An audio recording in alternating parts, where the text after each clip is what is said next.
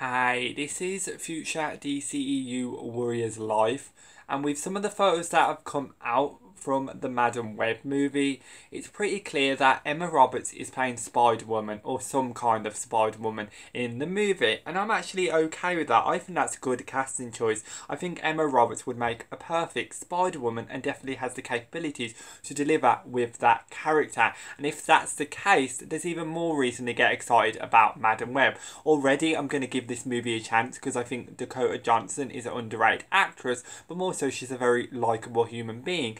And Sony, generally, I trust more than Disney with the MCU.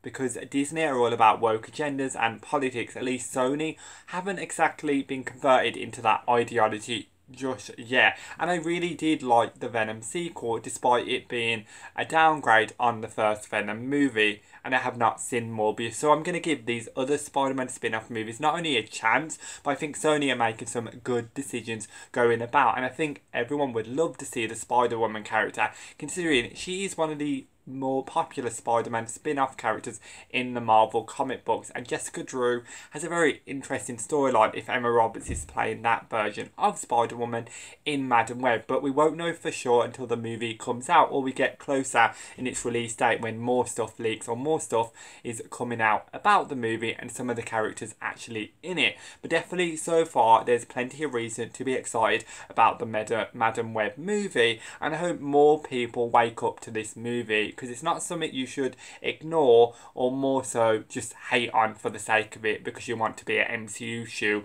and run around going, Disney deserves Spider-Man back, Disney deserves Spider-Man back. No, Disney deserves nothing. Sony deserves to keep Spider-Man. End of conversation. So I love to hear your comments below on what you think about the photos coming out, potentially meaning that Emma Roberts is playing Spider Woman in the Madame Web movie. And if you're excited for this Spider Man spin off movie at all, also be sure to click that subscribe button, give this video a like, and click that notification bell to support this channel. Thank you for watching, and it's goodbye from me for now.